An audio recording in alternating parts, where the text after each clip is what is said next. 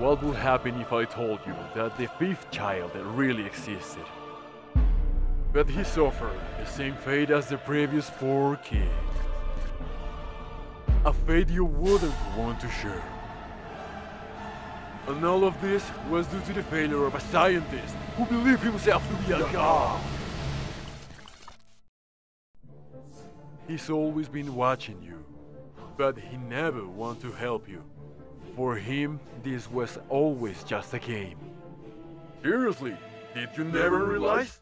Do you want my advice on how to get home?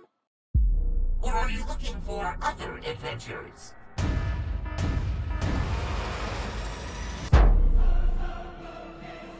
Now, this isn't about coming back to normal. This is your normal. And you're gonna have to get your hands dirty to survive. Are you worried about your friends? Oh no, no, no. They're not your friends anymore. And believe me, they will do whatever it takes to keep living, even if that means leave you behind. Put your skills to the test and don't take it easy. Think carefully about every move you make, cause that might be your last. Complete the different games that BURGL has for you. And if you're lucky, you might have the chance of getting out of here alive.